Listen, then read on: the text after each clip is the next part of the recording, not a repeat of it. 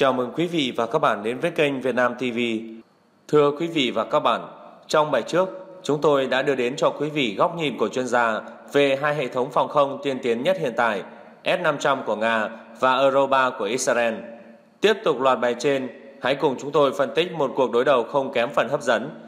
Tiêm kích tàng hình B-21 Raider của Mỹ và hệ thống phòng không S-500 của Nga, ai sẽ là người chiến thắng? Mặc dù cả hai loại vũ khí này chưa được đưa vào thực chiến tại chiến trường, B-21 đang trong quá trình hoàn thiện, dự kiến hơn một năm nữa mới có chuyến bay thử nghiệm đầu tiên, còn S-500 đã vượt qua thử nghiệm và chuẩn bị sản xuất hàng loạt. Tuy nhiên, chúng ta cũng không nên bỏ lỡ cơ hội dự đoán trận chiến tương lai đầy hấp dẫn này. Đầu tiên, chúng ta nên phân tích về tiêm kích B-21 Raider của Mỹ. Siêu máy bay ném bom tàng hình chiến lược tầm xa B-21 Raider được hãng Northrop Grumman chế tạo và cho đến nay hãng vẫn giữ bí mật tuyệt đối về những thông số kỹ thuật chi tiết của loại máy bay này. Tuy nhiên, một số thông tin về chúng đã được các chuyên gia và nhà phân tích đưa ra và được đăng tải trên tạp chí nổi tiếng The National Interest của Mỹ. Tại sao người Mỹ lại chọn số 21? Số 21 trong tên của chiếc máy bay hiện đại B-21 mang ý nghĩa tới thế kỷ 21 và tên Rider là để vinh danh cuộc tấn công huyền thoại của máy bay B-25 vào năm 1942 được điều khiển bởi tướng Jimmy Doolittle về máy bay ném bom B-21 Raider dựa vào những hình ảnh được công bố. Có thể thấy chúng có một số đặc điểm tương đồng với chiếc máy bay ném bom tàng hình B-2 Spirit. Tuy nhiên, chúng có những khác biệt quan trọng. Động cơ của B-21 nằm khoảng gần thân hơn nơi nối cánh và thân máy, còn động cơ kép của B-2 được bố trí chủ yếu nằm ở phần cánh. Cửa hút khí của động cơ Raider không có vành khuyết răng cửa và có độ dốc lớn hơn. Không giống như là B2 có phần khí thải sau động cơ được bảo vệ tốt hơn nên không ảnh hưởng nhiều đến khả năng tàng hình của máy bay trong giải sóng hồng ngoại. Kích thước của B21 tương đương với B2. Điều này giúp cho chúng nâng cao được độ tin cậy khi có tới 4 động cơ. Công ty sản xuất động cơ, nhà thầu phụ của dự án Pratt Whitney đã đưa ra hai phương án lựa chọn động cơ, đó là F100 và F135. Đối với F100 đã trải qua cuộc thử nghiệm tương đối dài khi được trang bị trên máy bay tiêm kích F-15Ig, Khả năng của chúng không tệ, nhưng không quân Mỹ muốn chúng hiện đại hơn nữa. Vì vậy, họ nghiêng về phía F-135. Chúng là động cơ được coi là trái tim của chiếc máy bay tiêm kích thế hệ thứ 5 F-35. Máy bay B-21 Raider có thể sử dụng với nhiều chức năng khác nhau. Chúng có thể trở thành máy bay ném bom chiến lược hạng nặng, có khả năng sử dụng vũ khí hạt nhân cũng như là vũ khí thông thường. Vì kích thước của chúng giống B2 nên khoang chứa bom của Raider cũng tương tự như nhau. Không quân Mỹ dự định lắp đặt bệ phóng bao gồm các ống phóng tên lửa loại xoay tròn AARL có khả năng chứa 8 tên lửa hành trình. Tổng cộng trong khoang chứa bom sẽ được lắp đặt hai bệ phóng loại này. Trên B-21 sẽ được trang bị cả tên lửa hành trình hạt nhân tầm xa LRSO thế hệ mới nhất và bom hạt nhân hiệu chỉnh B61-12.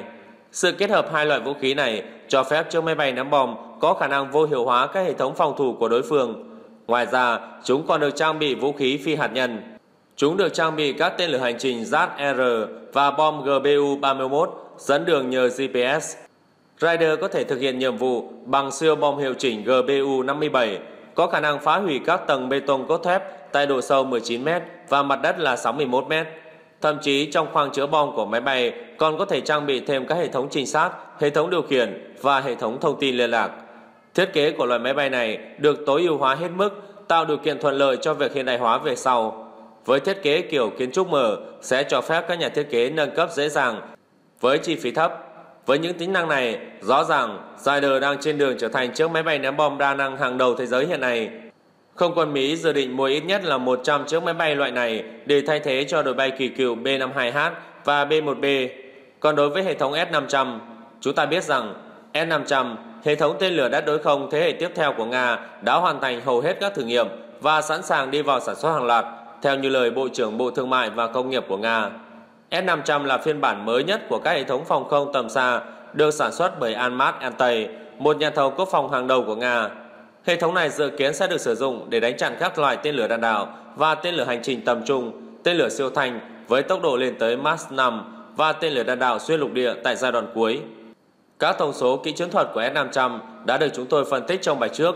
Quý vị có thể xem lại trong video S500 và Euro 3 đâu mới là hệ thống phòng thủ tiên tiến nhất. Câu hỏi đặt ra lúc này, liệu hệ thống phòng không S500 có thể cản nổi B-21 Raider hay không? Điểm mấu chốt ở đây chắc chắn nằm ở công nghệ tàng hình. Máy bay B-21 Raider của Mỹ được xây dựng dựa trên công nghệ tàng hình tiên tiến nhất. Chúng ta có thể hiểu sơ lược rằng công nghệ tàng hình thực chất là việc một máy bay được thiết kế để tránh sự phát hiện từ các hệ thống radar của kẻ địch. Bằng cách không có các cảnh xác định, không phát xạ nhiệt đáng chú ý, vũ khí treo bên giá treo khiến cho radar có thể gặp khó khăn khi nhận tín hiệu điện từ trở lại, cho phép chúng nhận dạng máy bay ném bom đang đến gần.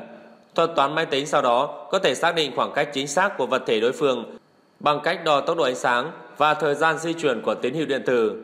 Tuy nhiên, khi nói đến máy bay tàng hình, tín hiệu trở về có thể không tồn tại hoặc có tính chất hoàn toàn khác so với máy bay thực tế.